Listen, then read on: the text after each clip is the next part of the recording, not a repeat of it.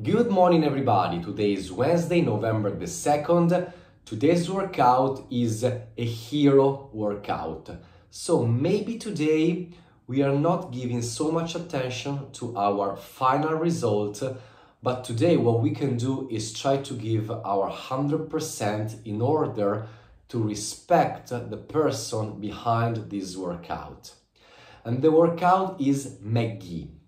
McGhee is 30 minutes AMRAP of 5 deadlift, 275 pounds for the men, 185 pounds for the ladies, 13 push-ups and 9 box jumps.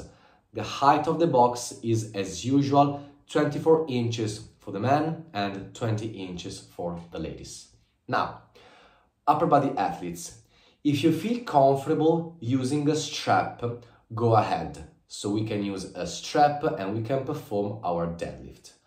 Talking about the push-up, we can replace the 13 push-ups with 13 one arm, one dumbbell bench press. Talking about the box jumps, we don't really need to adapt this movement. Second group, lower body athletes. Talking about the deadlift, if you don't feel safe with the so-called regular stance, we can do the workout today with a sumo stance. Of course, feel free to adjust the weight on the barbell. Another thing that we can do, if we want, is to slightly reduce the range of motion.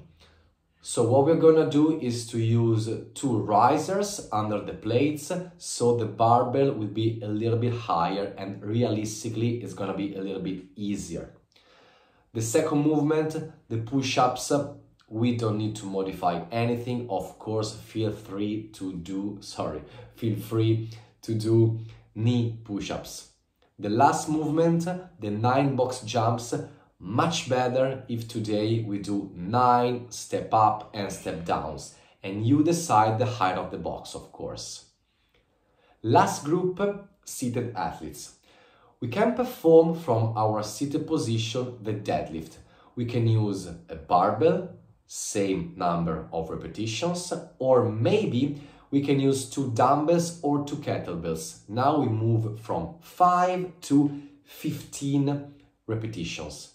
Talking about the push-ups, we can go on the floor and we can perform the push-ups or if we prefer, we can use a bench and we can do 13 dumbbells bench press.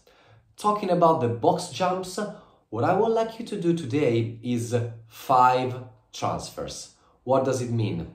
We are on our wheelchair, we can move to the bench, it is one repetition. Then we move to the wheelchair again, it's the second repetition. So we go until five reps are completed. So team, we are done even for today and uh, talk to you next Wednesday. Ciao!